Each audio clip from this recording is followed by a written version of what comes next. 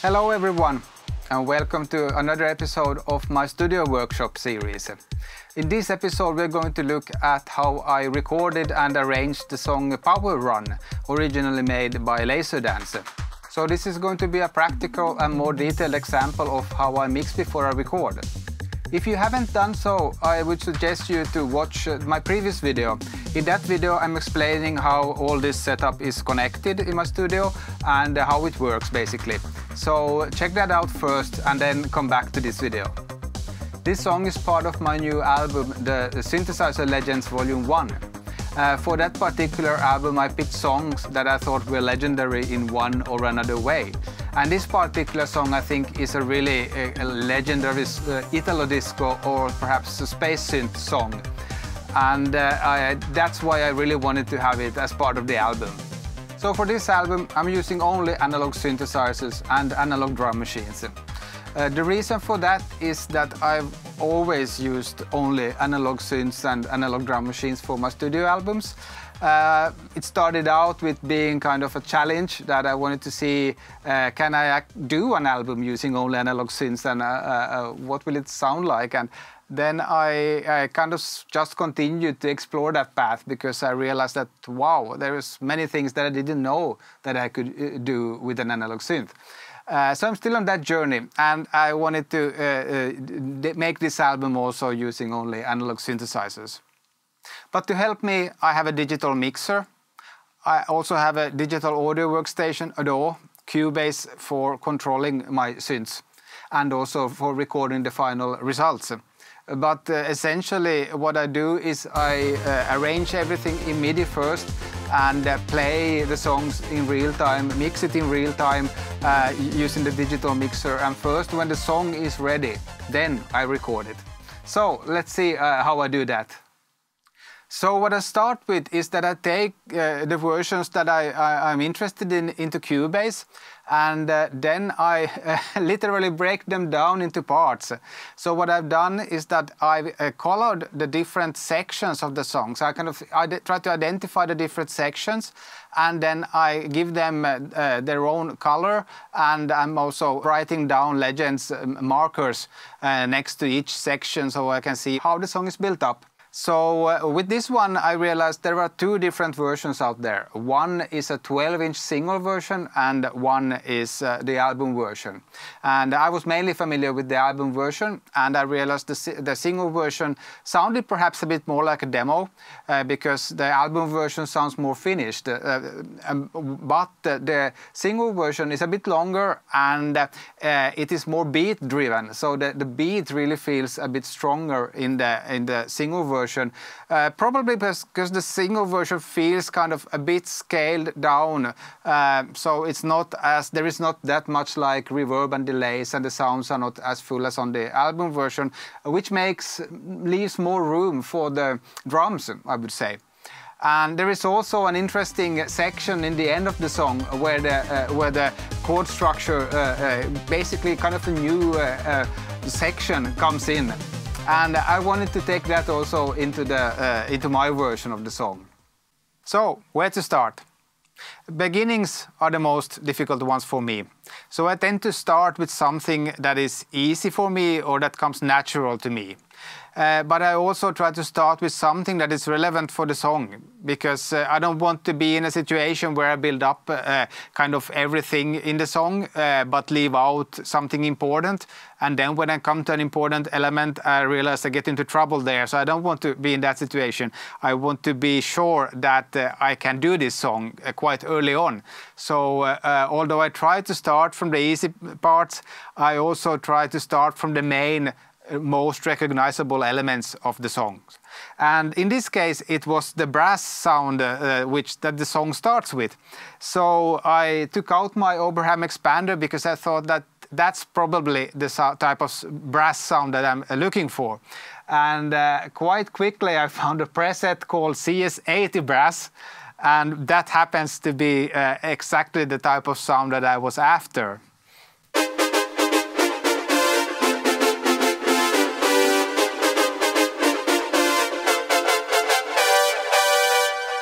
So this sound turned out to be quite spot on for what I needed. Uh, it, it, seems to be a preset called CS80 Brass, but I'm not certain. It's possible that I've edited this sound myself at some point. Uh, but yeah, I, I, don't know anymore. Uh, I, I, kind of build up my libraries using presets and uh, edited presets and uh, also completely new sounds that I made. And after you work with something for 10 years, then you forget that where did this come from in the first place. anyway, that doesn't matter. the, what matters is that it sounds great. the next thing I did was going for the basses, I think. Uh, so what I uh, ended up using was my kind of two favorite suspects. uh, I use a Korg Monopoly for the bass, uh, for the low end, and but then I also, on top of that, I have a Juno 60. So the Monopoly sounds like this.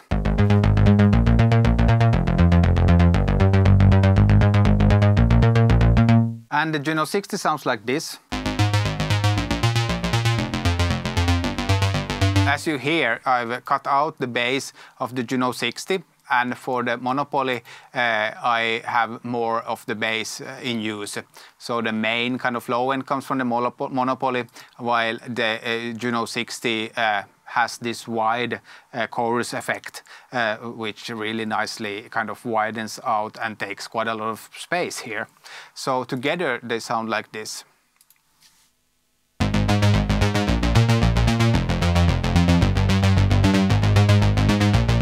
quite nice. And then I went for the drums. And this time I used uh, mainly an Analog Rytm. I have an Analog Rytm Mark II that I uh, used for the song. And uh, the kick is from there.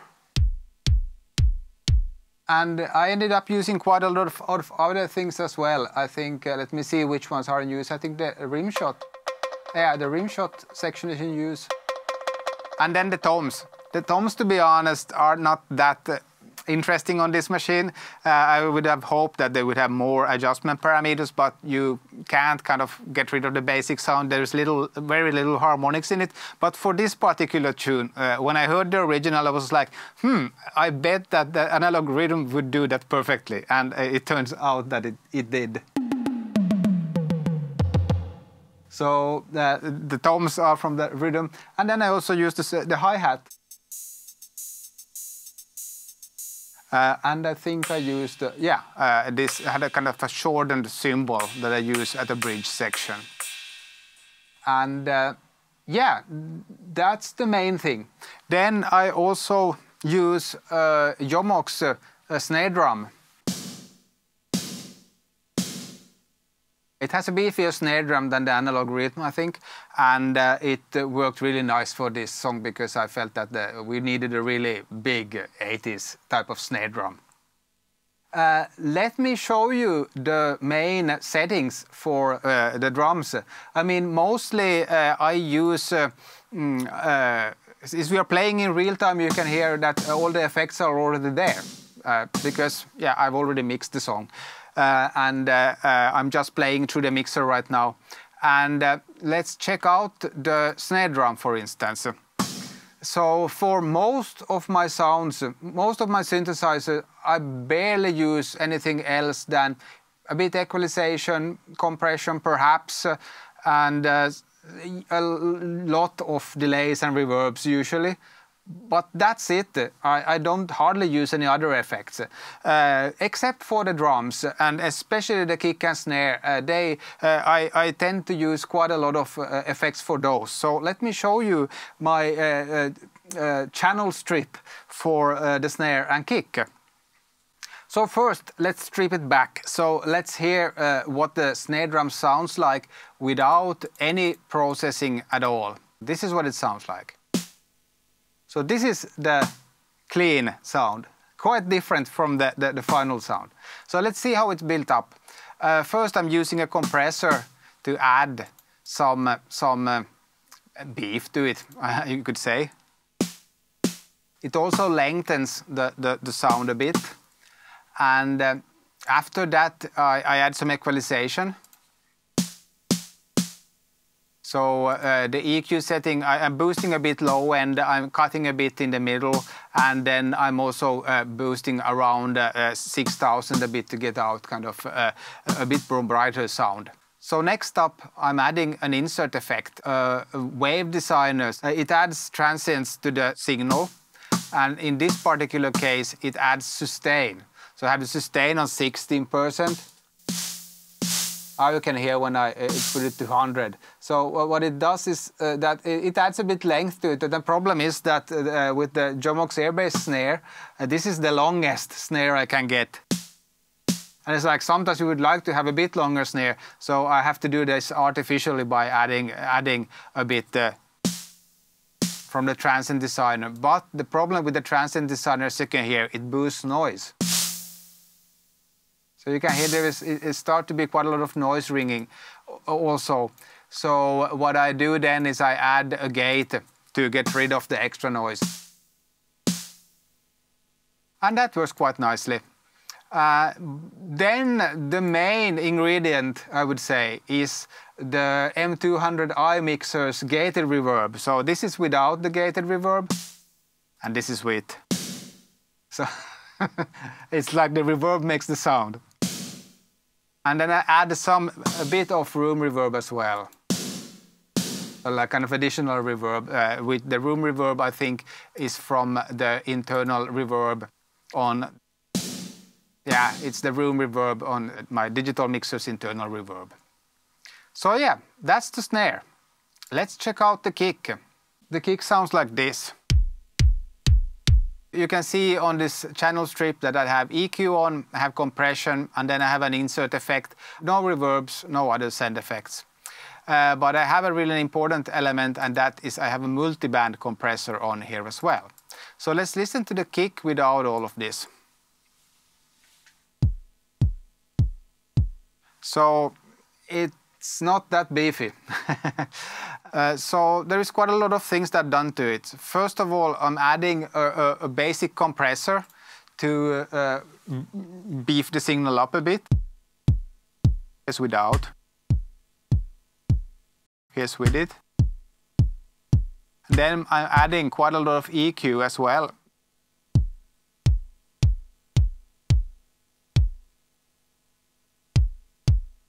it takes quite a lot of the mid away to make room for other instruments. It, it, it boosts a bit around 50 hertz. And uh, then I also boosting quite a lot around uh, two and a half kilohertz and uh, 6,000 hertz. And uh, then the final and the uh, most important element is a multiband compressor. So this is without the multiband compressor, and this is with. It really gives the final kind of uh, it makes it sound much more beefier and aggressive. So the multiband compressor is just the built-in uh, multiband compressor of the digital mixer. But it works really nicely in bringing out uh, uh, various uh, frequencies and you get a much more compact sound. In addition to those, I'm also using the TR-808. So I have the clap from the TR-808. My TR-808 is, by the way, uh, MIDI uh, uh, controllable. It's an old modification that the, the, unit came with.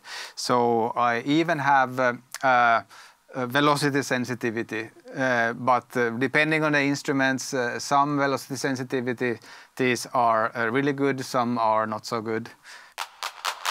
The clap has some. The cymbals have quite nice dynamics. Also the, the rim search, I think it's the rim shot. The, the shaker has the worst, which would be nice to have a really good velocity sensitivity on a shaker, but this is, this is just like one off, really. Uh, but I didn't use it, I think, in this song, uh, but I used these, uh, uh these claves. So then we have everything we need for the uh, main section. Uh, let's listen to this, start with the, with the drums. This is without snare. And then we add the snare. Or actually, let's add the bass first.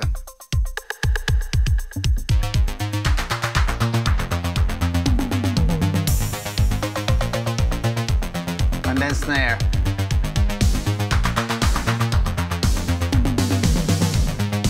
So this is the basic groove, and then we add the brass riff on top of that.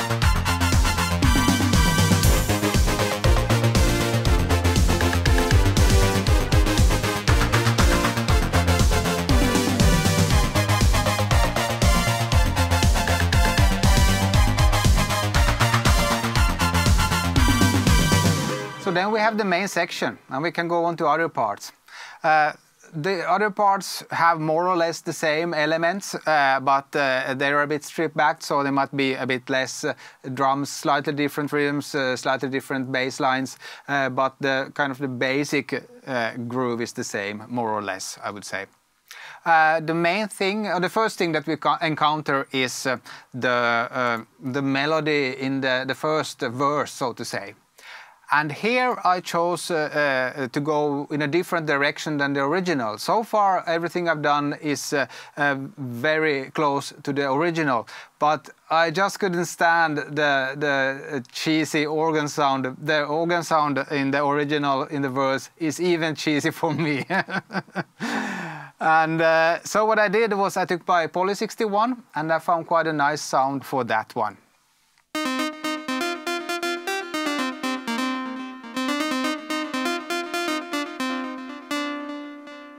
So that's the basic melody sound that I chose for the verse. The second melody we encounter is in the second verse, and that's the vocoder. Uh, I'm fortunate to have a Roland VP330 vocoder, and uh, I used that one then for, for uh, the verse. And uh, this is what the vocoder sounds like.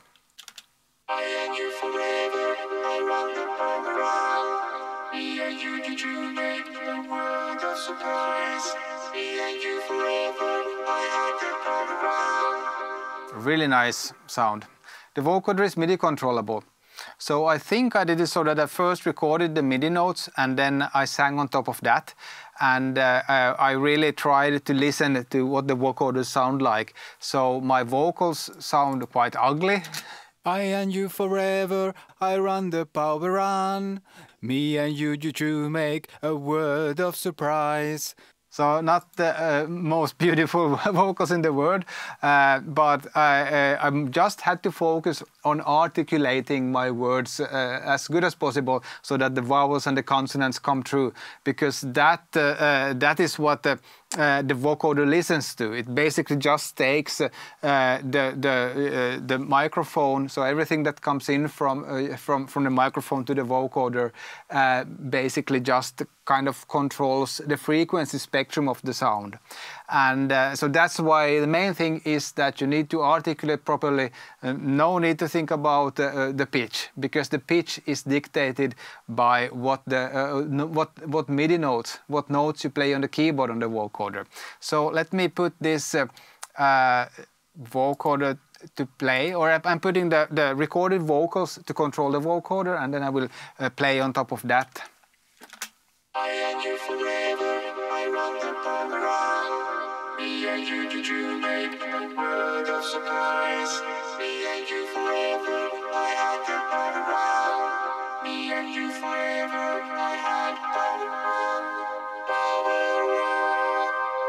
So, you see the point. I, I, haven't done much to the sound, I would say. I, I have, uh, uh, I've just boosted quite a lot in the two and a half kilohertz region and also a high shelf from 3000 and up and that started to sound quite nice and I also have uh, yeah, I'm, I'm sending it out uh, to a Big Sky uh, reverb. Uh, I'm also using the Lexicon reverb have the rack, and I have uh, uh, a couple of delays. I think I even have three delays. Is that true? oh my God. Then after the second verse, uh, there is also uh, this bridge part uh, where we have a, a, melody leading up again to the to the main A part, and uh, this melody is this one.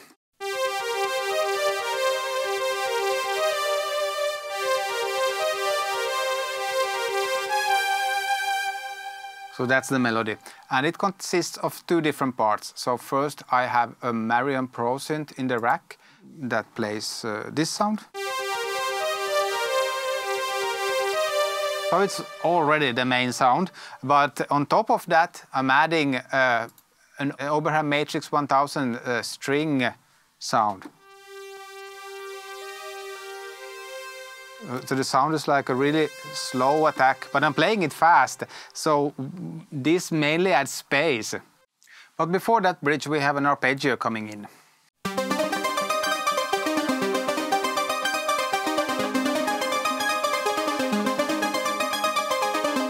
Okay, fortunately I don't need to play it, so, so I'm, I'm I programmed it.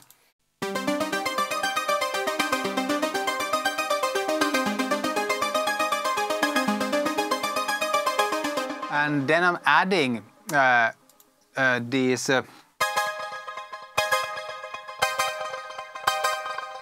hits in the arpeggio. this was in the original as well, so I took the idea from there. This arpeggio consists actually of two synths. One is the Alpha Juno 1, uh, which uh, uh, sounds like this.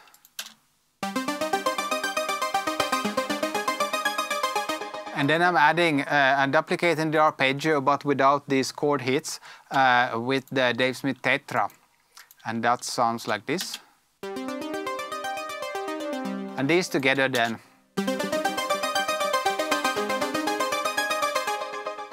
So the two verses are repeated again. So when the vocoder verse comes the second time, then I felt like, okay, now we really need some variation here.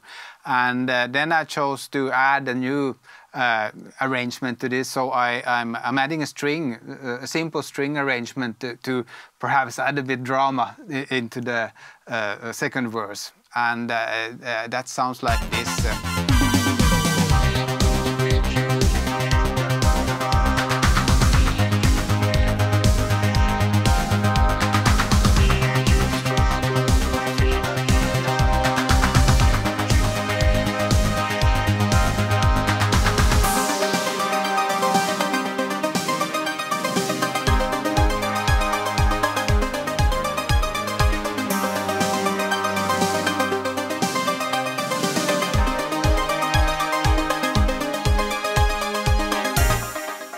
So uh, that uh, uh, string section is uh, quite dynamically controlled with uh, uh, aftertouch.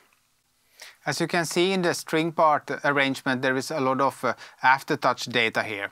And what that aftertouch data does is it opens and closes the cutoff of the string sound. Now I have the aftertouch routed to the mod wheel here. So when I move the mod wheel, the aftertouch, uh, sorry, the cutoff of the Oberheim matrix goes up and down. And that way I can like play more dynamically.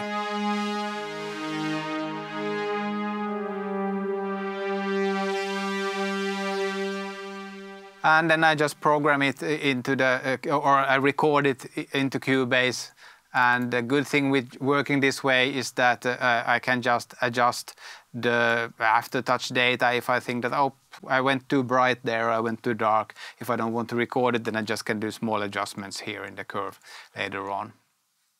Then I think we only have one synth left, and, and that is the Syntakt. Uh, it has uh, four uh, analog uh, engines, and uh, uh, I noticed that the analog engines have separate noise generators. So that means that you can you can stereo spread them. So I've, I've done uh, a, a, uh, uh, noise hit like this.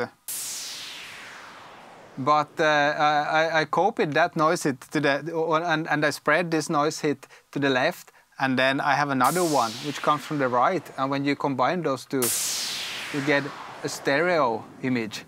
And that is not normally possible with uh, older analog synths because they usually share the same noise generator. So if you try to, to do that uh, trick with some analog synths, uh, you still only will get a mono signal because they're using the same noise generator. So that's the basic arrangement. That's how I did the basic arrangement.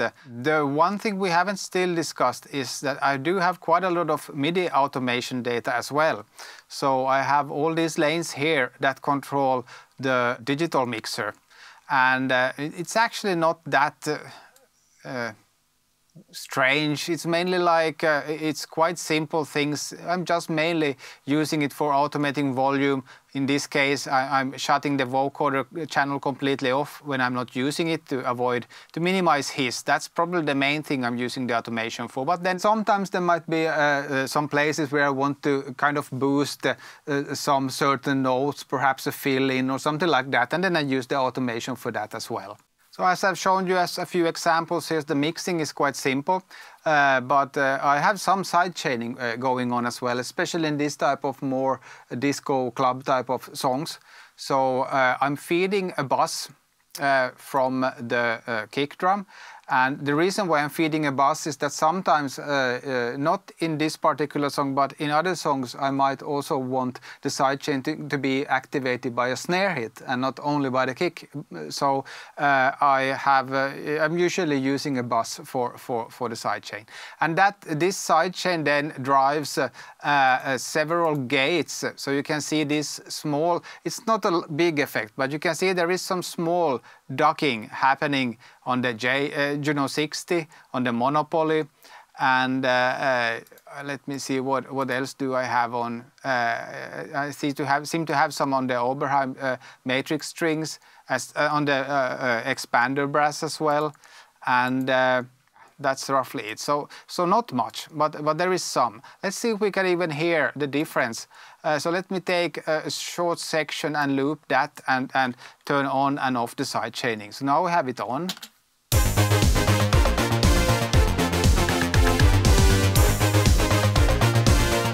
And now let's turn it off.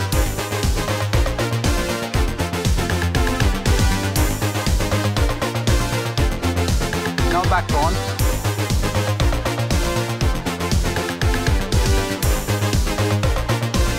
It doesn't do much, but you can feel that there's a bit more kind of uh, you get a bit this kind of rhythmic pumping, uh, which works really nice in these types of tracks.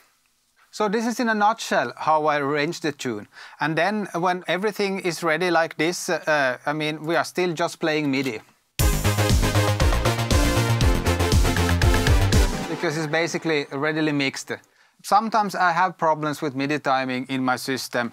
And uh, for this particular tune, I couldn't get it as tight as I wanted. I mean, MIDI is an old protocol, but it also has something to do with that modern DAWs and the computers. Well, I mean, computers are designed for doing a lot of stuff, not only MIDI. And uh, uh, when you work with something like this, MIDI is an old protocol and it's quite slow, so you really need to optimize everything for MIDI. And uh, uh, what happens is that uh, you get some random um, uh, jitter it's called. So the MIDI notes aren't like exactly where you would like to have them. They jump a bit around. And uh, sometimes the jitter might be more and some days the jitter might be less. And when I was recording this, the, the, jitter was too much. I felt I want to have it more tighter. So what I did, I, I basically exported the MIDI to my MPC sequencer. It has four MIDI outs, so I just pulled out the, the MIDI signals uh, and uh, split it up in my uh, uh MIDI uh, iConnectivity MIDI interface boxes. And uh, that way I got it much more tighter than I managed to do with, with Cubase. So that's one way around. It's a bit cumbersome, but in this case, it worked really nicely when everything is ready like this, I could just uh, record it as a stereo track. But I want to have some uh, possibilities later on because usually uh, when I've been working on a track intensively, uh, it might be that I, I'm percepting things a bit differently than I, what I will do like two months later when I finish the track. So then I still want to have possibilities to, for instance, adjust the kick a bit, perhaps uh, reduce the bass a bit if needed, and or or perhaps I might notice that wait a minute, the lead is far too loud, uh, or something like that. So instead of recording any, everything to a stereo track, I record it into 10 tracks. So I've recorded the kick separately, and uh, I have the snare separately recorded uh, without the reverb. And then I have the bass separately recorded. The monopoly bass. Uh, the lead. Actually all the leads come in uh, to this lead track. So I, I, probably have the vocoder here somewhere as well. Yeah there it is. Uh, without effects because uh, the effects come in on their all the return uh, effects I record as their own stereo track. So here's only the effects. That way I have some control if I feel that okay this uh, mix is now too washed out with effects then I can just lower the overall volume of the effects. And uh, then I also record the, the rest of the synths separately and then uh, the whole rhythm section, uh, except for the kick and snare, uh, they are also on their own track.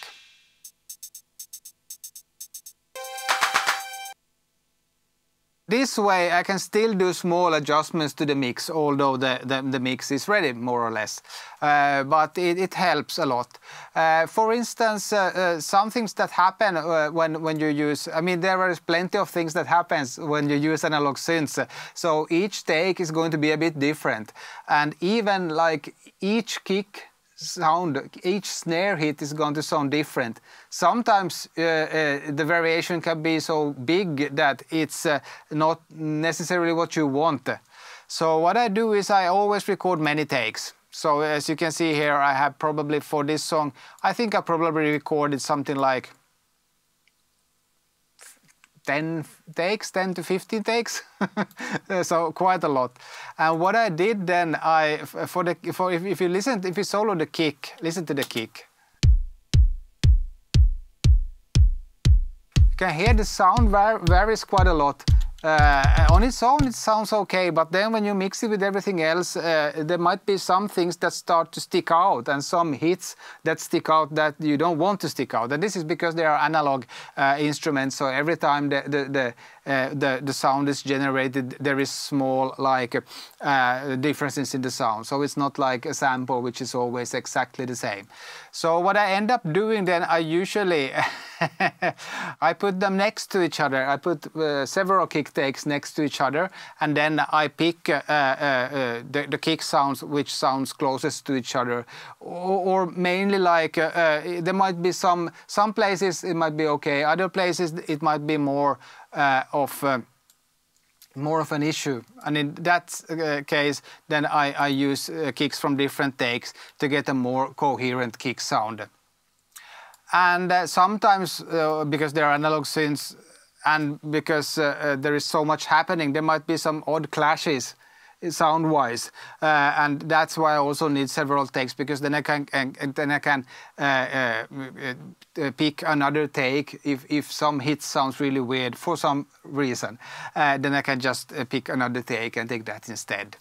So that's why I recorded quite a lot of takes. So there is quite some editing afterwards, although I, I, uh, I basically have the song readily mixed. But I'm, I think I'm a bit of a perfectionist, so I, I try to get it better. But I don't want to have it sterile.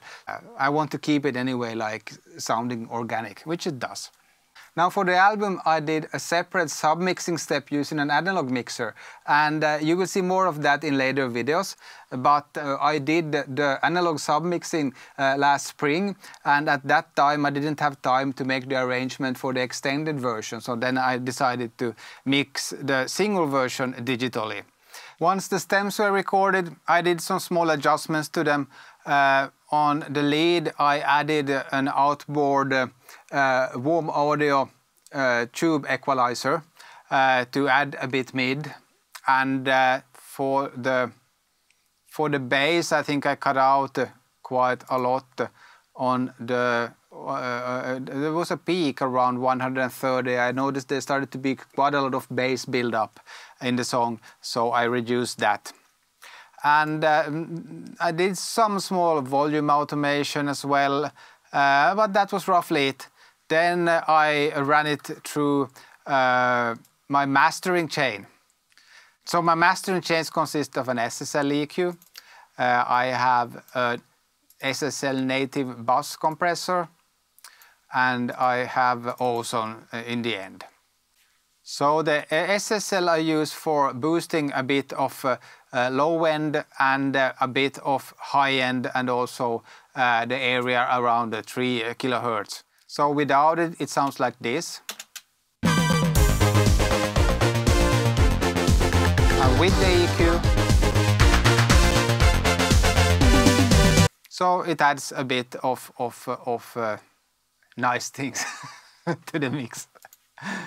After that, I'm running it through a bus compressor. I'm actually using the same settings uh, that I used on the analog bus compressor when I did the album, because for the album uh, master, I also run it through a warm audio bus compressor. And uh, let's see what that sounds like first without it. And with it.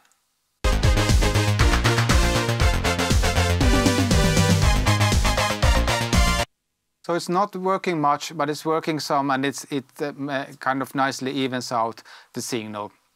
Uh, then for my uh, mastering chain, I'm not going to play this because my computer is uh, really at its limit here, as you can see.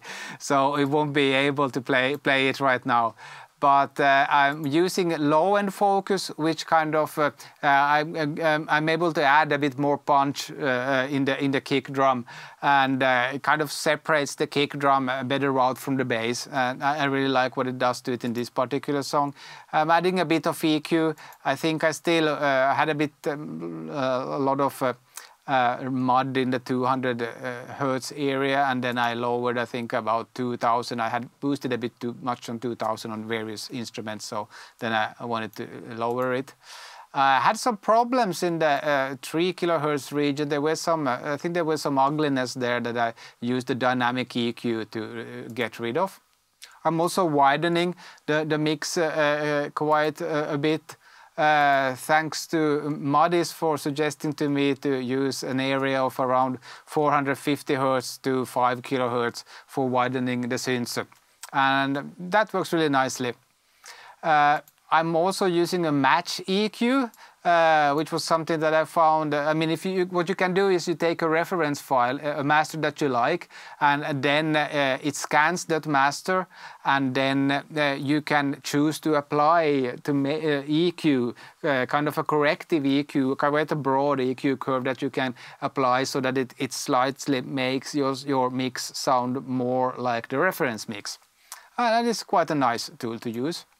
Then I even ended up using something called a master rebalance. So you can, uh, in Ozone you can actually choose if you want to to kind of rebalance uh, the the mix. Uh, and have it more, more focused on vocals, on bass, or on drums. So uh, I did notice that it I thought this did quite uh, quite uh, quite good to my mix uh, by focusing on the drums, slightly boost on that. Uh, worked quite nicely, I think. And then a multiband compressor in the end, and then a limiter, and and that's the basic chain but the chain grew quite long. and this chain is different from what I use for the album. Uh, for this particular single, or in singles in general, uh, I mean, you don't you don't have any other tracks to think about. You just want your track to stand out uh, among the billions of other tracks on, on, on the net. So so I really try to make it sound as full uh, and and uh, as uh, punchy and, uh, and, and nice, uh, most possible way, so to say. And also, I kind of boosted it to be quite loud because uh, uh, this is also going out on Beatport. So, uh, especially the extended version for DJs, I, I, need to boost the, the, the, the, loudness quite a bit. But I'm still I'm pulling it back directly when I start to hear that it now it starts to break up. It doesn't sound so nice anymore. Then I'm pulling it back. I, I don't care then if it's not loud enough but I have to think about, yeah, yeah, making it sound good. And uh, but for the album version, I have like eight other tracks or nine other tracks that I need to think about, and I need to have these tracks balanced with each other. So I used a different approach for the album tracks, and there will be more on that in, in, in later uh, episodes. So that was how I arranged, uh, mixed, and recorded uh, my version of that song. Uh, this could probably be done a lot cheaper, better and easier than this way. But I just wanted to show you uh, the way I work and hopefully you got some ideas and inspiration out of it. Uh, there will be more videos coming out soon, so make sure you subscribe to my channel. And uh, that's it. Thank you very much for tuning in and see you again in a couple of weeks.